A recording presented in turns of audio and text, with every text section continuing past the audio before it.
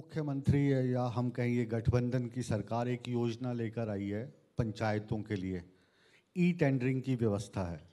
दावा यह है कि ई टेंडरिंग से पारदर्शिता आएगी और जो पैसा सरकार पंचायतों के लिए देती है, वो एक फॉर्मूले के तहत पारदर्शिता के साथ पहुंचेगा। तो उस चीज़ का विरोध कुछ सरपंच कर रहे हैं और उन सरपंचों के साथ कांग्रेस के कुछ नेता भी साथ में खड़ाई खड़े दिखाई देते हैं। आपको ई टेंडरिंग को लेकर ऐतराज का सवाल नहीं है।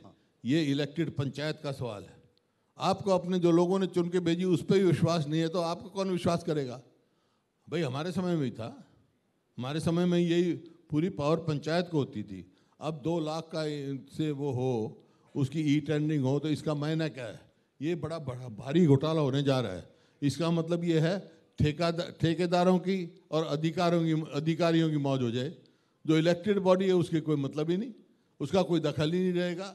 ये पोर्टल खोल दो। पोर्टल से चलेगा ये ई टेंडरिंग पोर्टल जब मर्ज़ी बंद कर लो। आपने टेंडर दिया है।